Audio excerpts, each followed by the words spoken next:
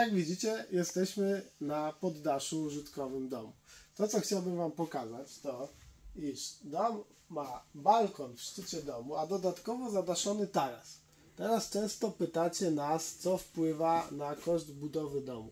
Na koszt budowy domu wpływają wszystkie tak zwane udziwnienia, czy dobudówki, takie właśnie jak balkony, zadaszone tarasy, inne rzeczy, które wymagają dużego nakładu pracy. Więc jeśli chcecie wybudować piękny dom według swojego indywidualnego pomysłu, to oczywiście bardzo chętnie go zrealizujemy, natomiast musicie się liczyć z tym, iż koszt takiej budowy jest zawsze trochę wyższy niż prostej bryły bez okapów, tarasów, balkonów, tak jak jest to w wypadku najtańszych domów produkowanych seryjnie. I to jest właśnie różnica. My podchodzimy do tematu indywidualnie, budujemy z dobrych materiałów i budujemy ładnie według dowolnego projektu. Nie zawsze może być to rozwiązaniem najtańszym.